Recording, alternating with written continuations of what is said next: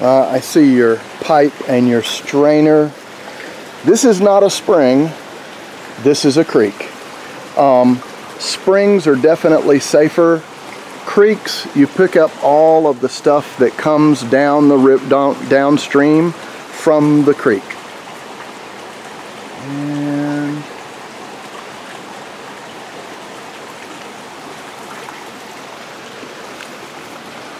smart little way to do it though. It's free water. Oh, I see the ends of those three blue pipes there. Um, I don't know if that's a septic tank or if that's actually a cistern. I'll know in a minute. A cistern for the storage of water. Um, let's see. Yeah, this is a cistern. Um, this is not a septic tank.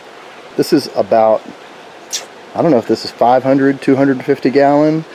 Um, you take water from somewhere, put it in here, and then you have a bunch of it saved up so that when you can pump it into your house.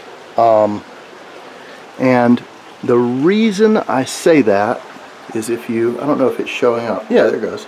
There's a little black pump there in the middle of the screen.